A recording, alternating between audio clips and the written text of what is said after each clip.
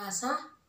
ಜನನಿ ಜನಕ ನೀನೆ ಶ್ರೀನಿವಾಸ, ಎನ್ನ ಅನುಬಂಧಿಯು ನೀನೆ ಶ್ರೀನಿವಾಸ. ಜನುಮ ಜನುಮದಲ್ಲಿ ಶ್ರೀನಿವಾಸ, ಎನ್ನನು ಧರಿಸುವ ನೀನೆ ಶ್ರೀನಿವಾಸ. ದೇಶ ದೇಶವ ತಿರುಗಿ ಶ್ರೀನಿವಾಸ, ಬಲು ಕೇಶ ಪಟ್ಟಿರುವೆನು ಶ್ರೀನಿವಾಸ. ಆಶಾ ಪಾಶವ ಬಿಡಿಸೋ ಶ್ರೀನಿವಾಸ. ನಿನ್ನ ದಾಸರ ಸಂಗ ಕೊಡು ಶ್ರೀನಿವಾಸ. ಬಂಧನವ ಕೊಡುವವ ಶ್ರೀನಿವಾಸ. ಭವ ಬಂಧನವ ಬಿಡಿಸುವವ ಶ್ರೀನಿವಾಸ. ಅಂದು ನೀನೆ, ಇಂದು ನೀನೆ ಶ್ರೀನಿವಾಸ. ಎಂದೆಂದಿಗೂ ನೀನೆ ಶ್ರೀನಿವಾಸ ಹೃದಯದಲ್ಲಿ ನಿನ್ನ ರೂಪ ಶ್ರೀನಿವಾಸ. ಎನ್ನ ವದನದಲ್ಲಿ ನಿನ್ನ ನಾಮ ಶ್ರೀನಿವಾಸ. ಸದಯನಾಗಿ ಒಲಿದು ಎನಗೆ ಶ್ರೀನಿವಾಸ. ಒಲಿದು ಬಂದು ಪಾಲಿಸಯ್ಯ ಶ್ರೀನಿವಾಸ. ಜಲ್ಲಡಿಯ ನೆರಳಿನಂತೆ ಶ್ರೀನಿವಾಸ. ಬಹು ತಲ್ಲಣದ ಬಿಡಿಸುವರೆ ಶ್ರೀನಿವಾಸ. ಎಲ್ಲ ಕಾಲದಲ್ಲಿ ನೀನೆ ಶ್ರೀನಿವಾಸ. ಸಿರಿ ಎನ್ನ ತಂದೆ ವೆಂಕಟೇಶ. ಎಲ್ಲ ಕಾಲದಲ್ಲಿ ನೀನೆ ಶ್ರೀನಿವಾಸ. ಸಿರಿವಲ್ಲಭನೆ ಎನ್ನ ತಂದೆ ವೆಂಕಟೇಶ. ನಿನ್ನ ನಂಬಿ ಬಂದೆ ಎನ್ನ ಕೈ ಬಿಡಬೇಡ ಘನ್ನ ಮಹಿಮನೆ ಶ್ರೀನಿವಾಸ. ಪನ್ನಂಗ ಶಯನ ಆಪನ್ನ ರಕ್ಷಕ ಪ್ರಸನ್ನನಾಗು ಬೇಗ ಶ್ರೀನಿವಾಸ. ನಿನ್ನ ನಂಬಿ ಬಂದೆ, ಎನ್ನ ಕೈ ಬಿಡಬೇಡ ಘನ್ನ ಮಹಿಮನೆ ಶ್ರೀನಿವಾಸ. ಪನ್ನಂಗ ಶಯನ ಆಪನ್ನ ರಕ್ಷಕ, ಪ್ರಸನ್ನನಾಗು ಬೇಗ ಶ್ರೀನಿವಾಸ. ಪ್ರಸನ್ನನಾಗು ಬೇಗ ಶ್ರೀನಿವಾಸ. ಪ್ರಸನ್ನನಾಗು ಬೇಗ ಶ್ರೀನಿವಾಸ. ಶ್ರೀನಿವಾಸ, ನಿನ್ನ ನಂಬಿ ನಾನು ಈ ಭೂಮಿಗೆ ಬಂದಿದ್ದೀನಪ್ಪ. ನನ್ನ ಕಡೆಗೆ ನೀನು ಪ್ರಸನ್ನನಾಗು ನನ್ನ ಕಡೆಗೆ ಕರುಣೆ ತೋರು. ನೀನು ಹೇಳಿದ್ದೆಲ್ಲನೂ ಅಲ್ಪ ಸ್ವಲ್ಪ ಈ ಸಂಸಾರದಲ್ಲಿದ್ದು ಎಲ್ಲ ಕಷ್ಟಗಳನ್ನೆಲ್ಲ ಅನ್ವಯಿಸ್ಕೊಂಡು ಏನೋ ಮಾಡ್ತಿದ್ದೀನಪ್ಪ. ನೀನು ನಂಬಿದ್ದೀನಿ ನಾನು. ನನ್ನ ಕಡೆಗೆ ಪ್ರಸನ್ನನಾಗು ಶ್ರೀನಿವಾಸ. ನನ್ನ ಕಷ್ಟಗಳೆಲ್ಲ ಪರಿಹಾರ ಮಾಡು. ತುಂಬ ಜನ ನನಗೆ ತುಂಬ ಬೇಕು ಬೇಕಾದವರೆಲ್ಲ ಎಲ್ಲರೂ ಕೋವಿಡಲ್ಲಿ ಅನ್ವಯಿಸ್ತಾ ಇದ್ದಾರೆ ಆ ರೋಗದಿಂದ ಶ್ರೀನಿವಾಸ ಅವ್ರ ಕ, ಅವ್ರ ಕಡೆಗೆ ಕಾರುಣ್ಯ ತೋರಿ ಆಶೀರ್ವಾದ ಮಾಡಿ ಆ ರೋಗ ಎಲ್ಲನ ಅವ್ರಿಗೆ ಪರಿಹಾರ ಮಾಡಿ ಮನೆಗೆ ಬರೋ ಥರ ಮಾಡಪ್ಪ ಶ್ರೀನಿವಾಸ ಅಂತ ನಾವು ನೀವು ಶ್ರೀನಿವಾಸನಲ್ಲಿ ಬೇಡ್ಕೊಳ್ಳೋಣ. ಇವತ್ತು ಏನು ವಿಚಾರ ಹೇಳಕ್ಕೆ ಬಂದಿದ್ದೀನಿ ಅಂದರೆ, ಇವತ್ತು ನೀವು ನರಸಿಂಹ ಜಯಂತಿ ಪೂಜೆ ಮಾಡಿ ಮಾರು ದಿನ ಬರುತ್ತಲ್ಲ, ಹುಣ್ಣಿಮೆ ಅಂತ. ಆ ಹುಣ್ಣಿಮೆ ಎಷ್ಟು ಪವಿತ್ರವಾದ ದಿನ ಗೊತ್ತಾ? ಆ ಹುಣ್ಣಿಮೆ ದಿವಸ ಏನೇನು ಮಾಡಬೇಕು, ಏನೇನು ನೈವೇದ್ಯ ಮಾಡಬೇಕು, ಏನೇನು ದಾನ ಕೊಡಬೇಕು, ಏನು ಅವತ್ತು ವಿಶೇಷ ಅನ್ನೋದ್ರ ಬಗ್ಗೆ ಸ್ವಲ್ಪ ತಿಳ್ಕೊಳ್ಳೋಣ, ಬರ್ತೀರಾ? ವಿಶಾಖ ಶುದ್ಧ ಹುಣ್ಣಿಮೆ ದಿವಸ ಏನೇನು ಮಾಡಬೇಕು ಅನ್ನೋದ್ರ ಬಗ್ಗೆ ಸ್ವಲ್ಪ ತಿಳ್ಕೊಳ್ಳೋಣ. ವೈಶಾಖದ ವೈಭವಕ್ಕೆ ಕೊನೆಯೇ ಇಲ್ಲ. ಇಂದು ಸ್ನಾನ ವ್ರತದ ಸಮಾಪ್ತಿ. ಈ ಹುಣ್ಣಿಮೆಗೆ ನೀವು ವೈಶಾಖ ಸ್ನಾನ ಮಾಡ್ತಿದ್ರಲ್ಲ, ಅದು ಸಮಾಪ್ತಿ ಆಯಿತು. ದಿನವಾದಂತೆ ಮತ್ತೊಂದು ಪುಣ್ಯ ದಿನವೂ ಹೌದು. ಬ್ರಹ್ಮನು ಎಳ್ಳನ್ನು ಸೃಷ್ಟಿಸಿದ ಪರಮ ಪವಿತ್ರ ದಿನವಿದು. ಇದನ್ನು ಪದ್ಮಪುರಾಣದಲ್ಲಿ ಹೇಳ್ತಾರೆ.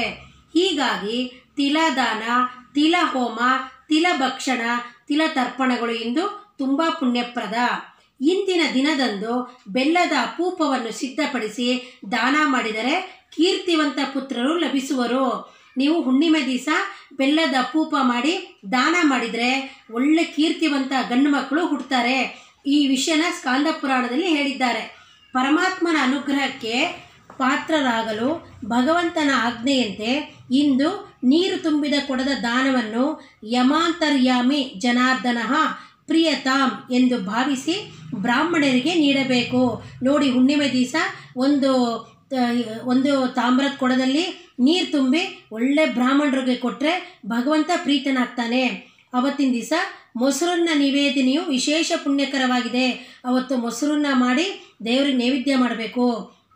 ಇದು ಭಗವಂತನು ತನ್ನ ಭಕ್ತರು ಹೀಗೆ ಆಚರಿಸುವವರೆಂದು ಇದರಿಂದ ವೈಶಾಖದ ಫಲ ಪೂರ್ಣವಾಗುವುದು. ಭಗವಂತ ಹೇಳಿದಾನೆ, ಯಾರು ಇದನ್ನು ತುಂಬಿದ ನೀರು ಕೊಡೋದು, ದಾನ ಕೊಡ್ತಾರೋ, ಮೊಸರನ್ನ ನಿವೇದನ ಮಾಡ್ತಾರೋ, ಅದು ನನಗೆ ತುಂಬ ಇಷ್ಟ ಆಗುತ್ತೆ. ನಾನು ವೈಶಾಖದ ಫಲ, ಸ್ನಾನದ ಫಲ ಕೊಡ್ತೀನಿ ಅವ್ರಿಗೆ. ಮತ್ತು ಯಮಧರ್ಮರಾಯನು ತೃಪ್ತನಾಗಬೇಕೆಂದು ಭಗವಂತನು ನೀಡಿದ ನಿದರ್ಶನವಾಗಿದೆ. ಆಮೇಲೆ ಅವತ್ತಿನ ದಿವಸ ಪಾನಕ, ಕೋಸಂಬರಿ, ಬೀಸಣಿಗೆ ಛತ್ರಿ ಪಾದರಕ್ಷೆಗಳ ದಾನ ಮಾಸದಲ್ಲಿ, ಈ ಪಾದರಕ್ಷೆಗಳ ದಾನ ಈ ವೈಶಾಖ ಮಾಸದಲ್ಲಿ ಉಲ್ಲಿಖಿತವಾಗಿದೆ. ದಾನ, ಸ್ನಾನ, ಜ್ಞಾನಗಳು ವೈಶಾಖದ ವಿಶಿಷ್ಟವಾಗಿದೆ. ಮಧುಸೂದನನ ಮೆಚ್ಚುಗೆಗೆ ಕಾರಣವಾಗಿದೆ. ಅವು ನೀಡುವ ಪುಣ್ಯದ ಪ್ರಮಾಣ ಪರಿಶೀಲಿಸಿದಾಗ ಕೊಟ್ಟ ದಾನ ದುಬಾರಿ ಎನಿಸಲಾರವು. ದಾನ ನೀಡಿದವನೇ ಭೋಗಿಯಾಗುವನು. ಏನನ್ನೂ ಕೊಡದೆ ಸುಖ ಅನುಭವಿಸುವನು ಹೇಗೆ ಸಾಧ್ಯ? ಒಂದು ತಿಂಗಳ ಸ್ನಾನ ವ್ರತ ಕೊನೆಗೊಳ್ಳುವ ಮಹೋತ್ಸವದಲ್ಲಿ ಭಗವಂತನ ಪ್ರೀತಿಗಾಗಿ ದಾನ ಅವಶ್ಯಕವಾಗಿದೆ. ವೈಶಾಖದ ವೈಭವಕ್ಕೆ ಕೊನೆಯೇ ಇಲ್ಲ. ಇಂದು ಒಂದು ತಿಂಗಳ ಸ್ನಾನ ವ್ರತದ ಸಮಾಪ್ತಿಯ ಮಹೋತ್ಸವ ಒಂದೆಡೆಯಾದರೆ ಪಿತೃದೇವತೆಗಳ ಪ್ರೀತಿಯನ್ನು ಪಡೆಯುವ ಅವಕಾಶ ಮಗದೊಡನೆ. ಸೃಷ್ಟಿಕರ್ತನು ಎಳ್ಳನ್ನು ಸೃಷ್ಟಿಗೆ ತಂದ ಪರಮ ಪವಿತ್ರ ದಿನ ದಿನ ಅದಾಗಿದೆ. ಆ ವಿಷಯನ ಪದ್ಮಪುರಾಣದಲ್ಲಿ ಹೇಳಿದ್ದಾರೆ. ಮಧುವೆಂಬ ರಾಕ್ಷಸನನ್ನು ಸಂಹಾರ ಮಾಡಿದ ಭಗವಂತನ ಬೆರಳ ತುದಿಯಿಂದ ಬಂದ ಬೆವರಿನಂತಹ ಅಮೃತದಿಂದ ಆವಿರ್ಭವಿಸಿದ್ದೇ ಎಳ್ಳು, ದರ್ಬೆ, ಉದ್ದು. ಮೊದಲಾದವು ಈ ಎಳ್ಳನ್ನು ಪಿತೃಕಾರ್ಯದಲ್ಲಿ ಬಳಸಿದಾಗ ಅವರು ಪ್ರೀತರಾಗಿ ಅಭಿಷ್ಟ ಮಳೆಗೆರೆಯುವರು ಎಂದಿದೆ ಮಹಾಭಾರತ.